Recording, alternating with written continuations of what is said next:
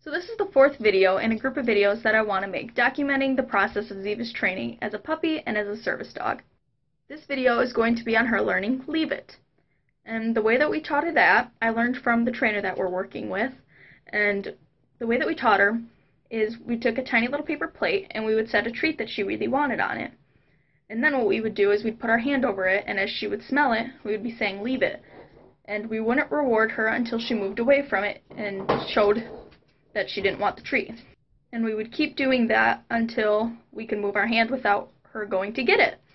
And then we just kept building on that and waiting to see how far away we could get from the treat without her trying to get it, and if we could set it down next to her without the plate, and then if we could throw the treat.